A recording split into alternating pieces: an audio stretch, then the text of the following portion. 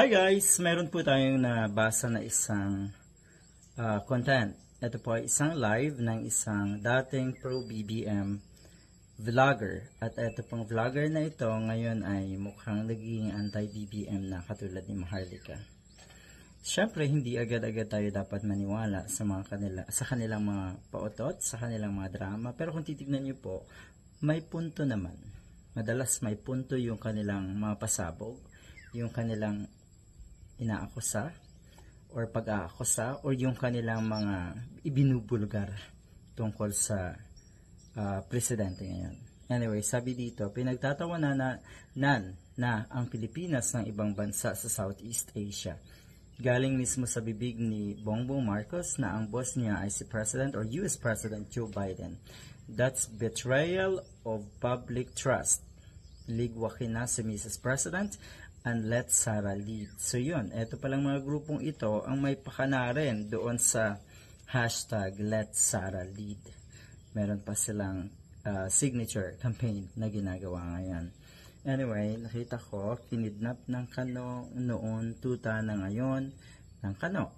So, dito sa photo na ito, kung nakikita nyo po, isiniwalat din na itong vlogger na ito, pro-BBM vlogger dati, na ito, na kuno nga ay ah, madalas hindi preparado o lumalabas na parang hindi preparado etong si Marcos Jr. pag humaharap sa mga sa mga ah, world leaders din. Katulad nga na itong si si Biden. Tignan niyo naman yung yung kilos ng kanyang kamay. Madalas daw ay kabado.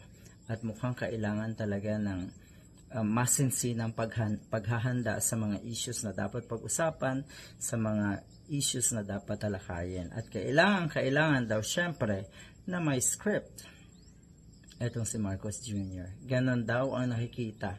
Ganon ngayon ang ibinubulgar ng grupo or netong grupo na ito na sa tingin ko ay may pakanare nung hashtag uh, Let Sarah Lead. ba?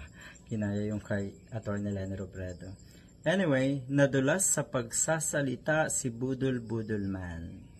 Kung nakikita nyo rin, etong um, mannerism or action na ito ni Marcos Jr., nakikita natin na hindi talaga preparado.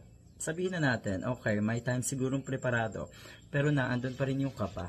Kaya given the chance na siya ay magsalita, mag-deliver ng speech na walang na walang script, impromptu na speech, sigurado pong liligwak talaga etong idolo ng mga pulangaw. Nakikita naman natin yan. Okay? At yung yung gusto nga nilang mag-lead ngayon sa ating bansa na si Sarah, sa nakikita ko rin po, mas lalong walay. Siguro naman nakita niyo na kung paano mag-deliver ng speech ang isang Sara Duterte. Napakalayo sa mga katulad ni Pinoy, sa mga katulad ni ni Atty. Lene Robredo. Napakalayo po talaga. Okay. So, talaga, at may gana pa na maging or nag-aambisyon pa na maging presidente yung Let Sarah lead or yatong gusto nilang mag-lead ng ating bansa. Nakakatawa po kayo. Okay?